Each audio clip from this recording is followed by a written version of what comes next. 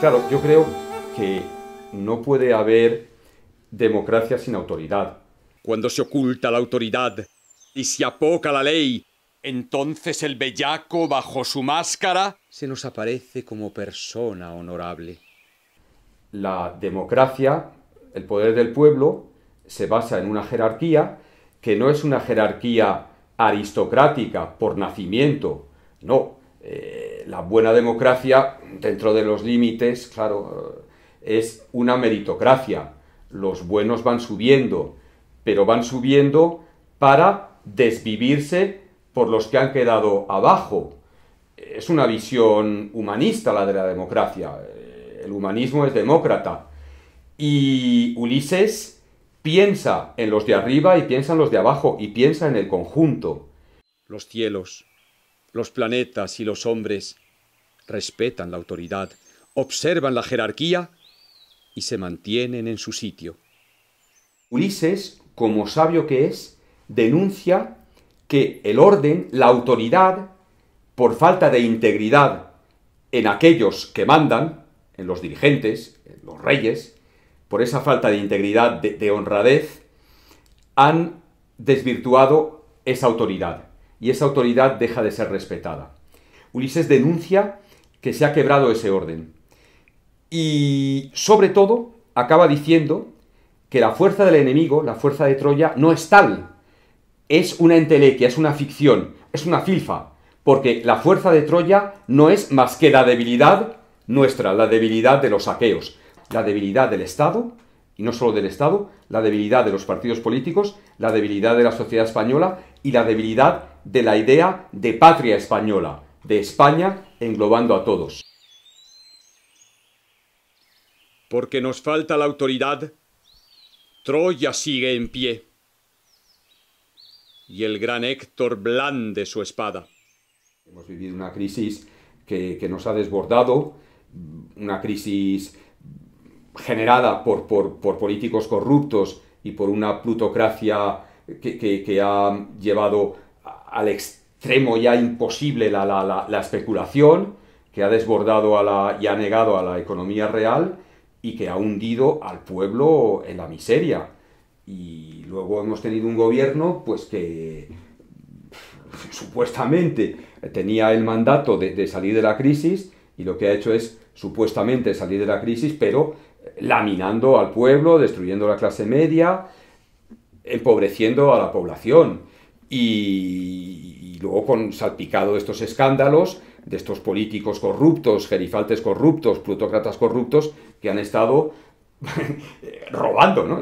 Es, que otra palabra creo que, creo que no exagero al decir que han estado robando, ¿no? Eso es, eh, Vox Populi, lo sabe todo el mundo. ¿Cómo pueden los pueblos, los títulos y todo vínculo, el comercio pacífico entre las orillas, la primogenitura y el deber de nacimiento, las prerrogativas de la edad, las coronas, los cetros, los laureles, ¿cómo sin la autoridad pueden permanecer en su lugar? El, desnudo en el teatro es bello. Recuerdo que en la época del, no sé si era tardofranquismo o ya con Franco muerto, hubo una obra en Madrid que causó escándalo que era Equo, en la cual la Goyanes aparecía desnuda y la extrema derecha, los guerrilleros de Cristo Rey, irrumpieron en una representación para boicotearla, no sé, a lo mejor lanzar un cóctel botó o algo así. En fin, porque el desnudo es algo que escandaliza. Es el sol quien endereza el rumbo torcido de los planetas y, como rey que es, ordena sin estorbo tanto al bueno como al malvado. El desnudo es un arma, porque en nuestra sociedad invierno, claro, se entiende, ¿no? Pero en verano nadie va desnudo. ¿Y por qué nadie, nadie va desnudo? Porque no se puede, porque hay un pudor, porque desde que nos expulsan del paraíso nos tapamos nuestras partes. Sin embargo, los griegos no ven así las cosas. Los griegos de antes del cristianismo, claro está. Para el griego, el desnudo es algo importante. Es lo que en gran medida nos asemeja a los dioses. Y los dioses también se representan desnudos, claro. Los griegos compiten desnudos. De hecho, en la, en la Iliada, cuando muere mm, Aquiles y se organizan juegos fúnebres en su honor, los griegos, entre ellos Ulises, compiten desnudos. En los Juegos Olímpicos, los atletas competían desnudos, embadurnados en aceite para que les brillara la piel.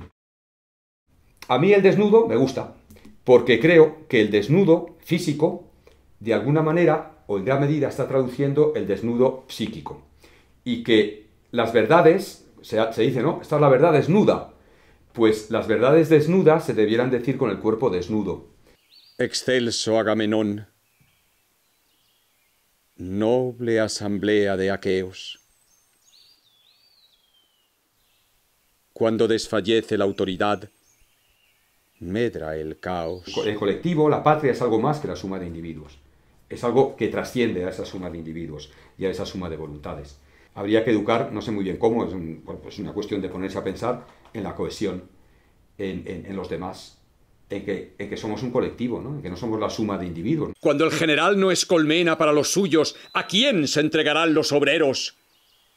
Cuya miel se espera pues yo creo que con los nacionalismos, actualmente con el nacionalismo catalán, y ese es, ese es el, el, arranque de, este vídeo, la intención de este vídeo, creo que los independentismos, los nacionalismos,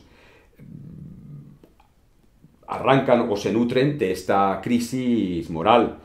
Y han ido a más, claro, es que no podía ser de otra manera, porque no ha habido una barrera moral que los frenara y que los redujera.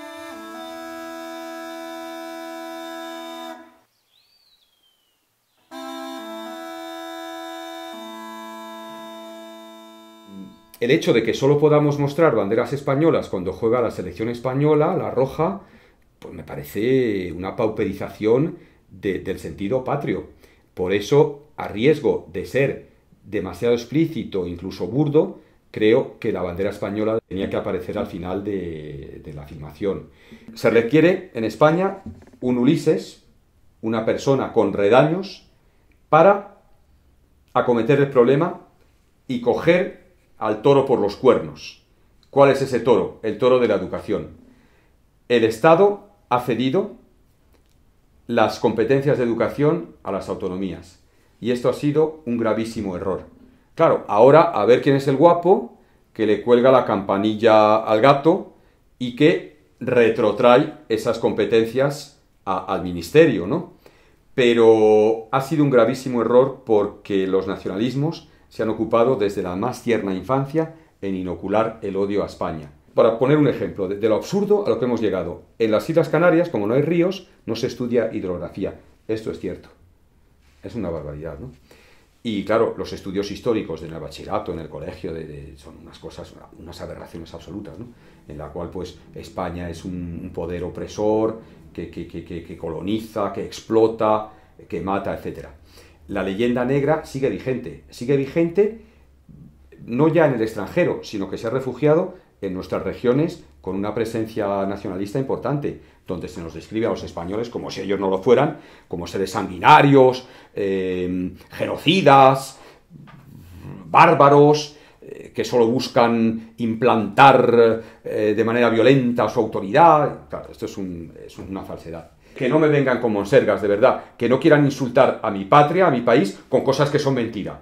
Que la insulten con cosas que son verdad. Y hay muchas, pero esas no son verdad. Y que la Edad Media, con el reino de Castilla, de Navarra y de Aragón, los taifas y demás, no prospere nunca más en nuestra patria. Y así todo será violencia irrefrenable, ansia insaciable de poder, voracidad, y esa misma violencia será lobo universal que, azuzado por su propia pasión, devorará el universo todo y luego acabará por devorarse a sí mismo también. Yo, y aquí pues, me mojo, ¿no? No soy oportunista, me mojo, creo que un referéndum no puede consentirse, no debe consentirse. Porque, entre otras cosas, todos sabemos que los referéndums se van convocando hasta que gana quien, quien quiere el secesionismo. Luego ya se acabaron los referéndums. Ya no va a haber otro al cabo de tres años cuando las cosas vayan mal, cuando el país se empobrezca, cuando el país se aísle, no va a haber otro referéndum para ver si volvemos a ser canadienses o a ser españoles. Esto de yo me siento orgulloso de ser español, yo no me siento orgulloso de ser español o ni me siento orgulloso de ser hijo de mi madre, por ejemplo, ¿no? Mm, yo he nacido ahí, yo no he hecho nada por ser español. Puedo estar contento de ser español. Tampoco estoy contento de ser español porque mi país actualmente es un desastre y porque mi país mi patria, desde que nos invade Napoleón hasta ahora, es un desastre. Entonces, ni, ni, me siento orgulloso, ni me siento satisfecho, ni contento de ser español, pero soy español y tengo casta. Estoy encastado, no soy un descastado. El descastado es aquel que rechaza lo suyo, ¿no? El, el, parvenu que, que, rechaza a sus padres porque eran pobres, ¿no?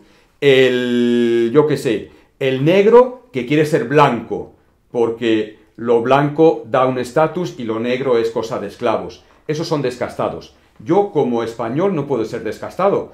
Tengo que amar lo mío, por muy triste que sea. Y mira que es triste la historia de España. Y mira que es triste la España actual. Y mira que estamos mal gobernados. Y mira que estamos eh, explotados, robados, expoliados. Pero como español tengo el deber de la casta. En fin, no la casta en el sentido de que eh, la, maneja Podemos, más bien en el sentido taurino. El toro que tiene casta, el toro que tiene unos orígenes, el toro que, que, que no traiciona lo suyo.